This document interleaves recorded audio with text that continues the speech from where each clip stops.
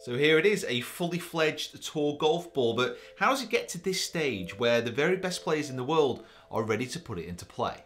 Hi guys, my name is Peter Finch and we are about to be transported as if by magic and the use of time to California and the TaylorMade Ball Lab. But before we go there and just explain exactly how golf balls are made, created and the stages that actually are taken before you get to play them, before the pros get to play them, there is going to be a giveaway. So on this video, I've got a dozen TP5X and TP5s to give away and those are also going to be given away on Instagram. So there's another two dozen to give away on Instagram. And to enter this giveaway, very, very simple. All you need to do is be a subscriber to the channel, like the video, and then comment below on what you would call the golf ball that you released. Would it be the Eagle Hunter, the Shank Shutter, Slicers Ammo, the Hook Monster, I don't know. Whatever you would call your golf ball, comment down below to be entered into the giveaway. So guys, good luck, and without any further ado, let's head over to the Ball Lab and see how these golf balls are made.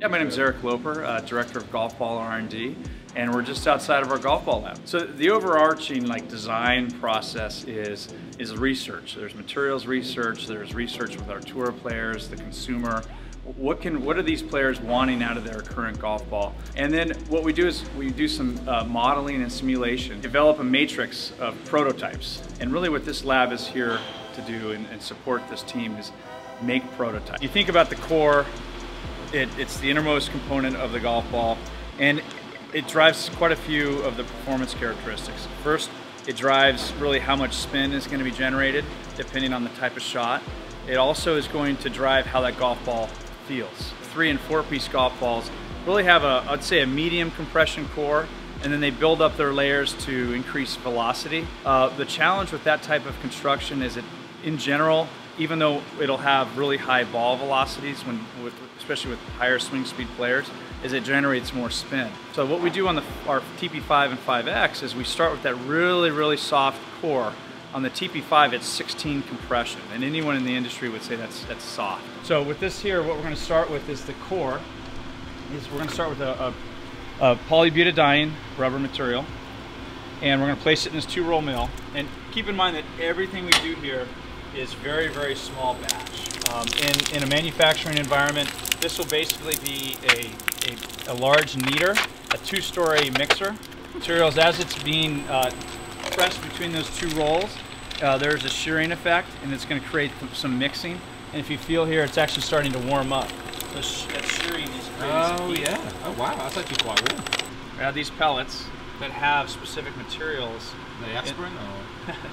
Tylenol. We're adding uh, materials that are going to change the compression of the core uh, and will help cure the product as well.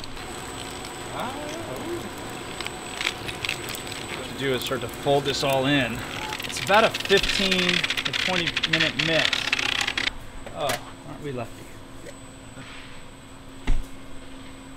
So you don't need a lot. Don't need a lot. That little pellet of yellow, that's going to turn that whole yellow. Oh, I certainly hope so. that's, tiny, that's the idea. That's tiny, that's like an earplug. It's like a, it's like a die.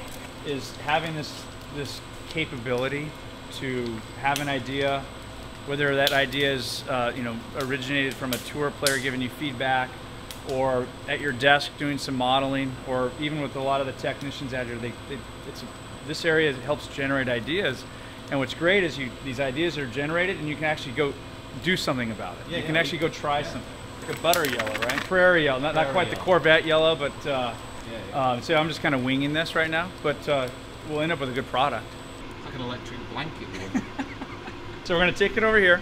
We're gonna roll it up. So that's the normal color of a, a TP5 core. That's a TP5 core, yeah. Today, since we're doing a really small batch, we're going to just sheet it out and cut preps. So it's gone from normal to creps. And if you look at this mold base, you can see that we have many different sizes. Again, this is an R&D facility.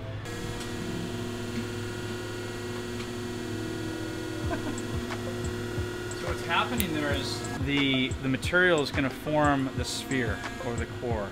And then the heat is going to kick off the reaction with the peroxide. So we're to, we're, we're forming the part and we're curing the part in this press. So basically this is what the, the core looks like as it comes out. Of So- the press. So it takes a little bit of time to kind of make it into this harder material. So we'll just go on to the boring blue.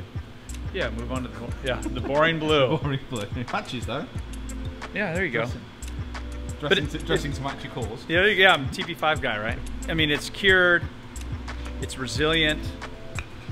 I mean, if you're gonna go dr- drop that polybutadiene rubber, it's just gonna hit the ground and just stop. Yeah. I mean, so we, we added materials to make it, to enhance it. Particularly what we do is we have a material that is quite flexible, but very resilient, is the first material. Has a specific modulus uh, that we're, that we're using to increase the speed of that core. And then we move out to the second or the third layer, and this material is a little bit stiffer, still very resilient. The layer just inside the cover, the fourth layer, is a is a stiff material that we call HFM. It's a high modulus uh, resin, and it's designed to increase speed. And then we wrap um, this high modulus uh, resin with a cast urethane. It's designed to uh, increase performance around the green. It's really what makes it a tour golf ball. That's that's on the TP5. It's a little bit thicker, and on the TP5X, it's No. it's quite thin. It's very flexible. It's really designed to uh, increase that friction. This is uh, basically layer one, layer two, and layer three, even though that's really there for. Um, thermoplastic materials. The materials start out in pellet form. Uh, they get loaded into the retractable pin injection molding machine. Um, the material gets loaded into the hopper in the back. Want to go around this way? Yeah, yeah. Ah, so it gets loaded into that that. hopper, and the materials are. Yeah, these are the pellets. Obviously, there's a Uh, color concentrate in What's there. the Hatton covering there? This is a a lab. It's confidential. Uh, so the materials uh, get loaded into that hopper, and go, they go through that heated barrel section, and then they get injected into this into this mold base through that runner system, into the gates, and those pins are we're gonna are we're- gonna hold the insert inside of that cavity. This is obviously a much smaller insert. Cavities or the mold base is gonna close, and then the material is going to get injected into this cavity and as that material starts to wrap around that core those pins are going to retract. So they Oh, become they pull in, right. they pull in. That all happens within a second. Well, you're going to end up with a part that looks like this with the core pins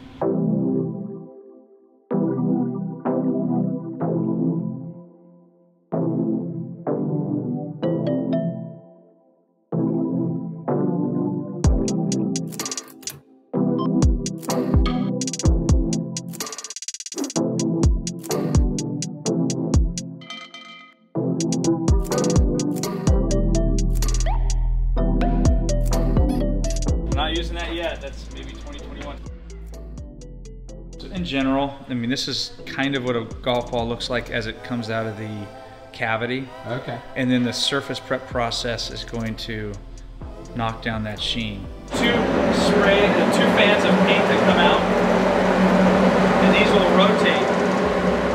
Oh, so it's getting like, oh, there you go. And you'll get the painted top and bottom. Aerodynamic Research Lab. Um, and it's, it's, we have it set up to not only do full characterizations on some of the new dimple patterns that we're looking at, but also, also to qualify every single cavity pair that we use to make our TP5, TP5X. So we'll launch the golf ball out um, at say 12 degrees, uh, 160 miles an hour and 3,000 RPM. As that ball gets launched, that's the maximum speed that that ball will ever see in that ball flight. It's going to continuously reduce in, ball velocity due to drag. You can model ball flights from driver through wedges. what we're going to do is we're going to launch one golf ball with the lights on, which is not our standard operating uh,